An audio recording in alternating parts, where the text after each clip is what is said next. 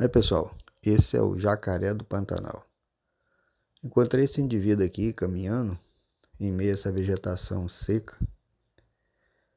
Esse é um comportamento relativamente comum dessa espécie nesta época do ano, que é o período de seca aqui no Pantanal.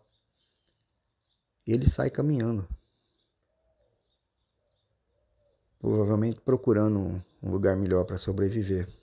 A lagoa onde ele estava deve estar secando, diminuindo a alimentação.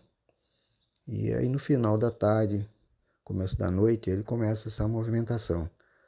Sai caminhando no meio da vegetação seca, procurando um lugar melhor para sobreviver. Você pode observar aí como o lugar é um lugar bastante seco.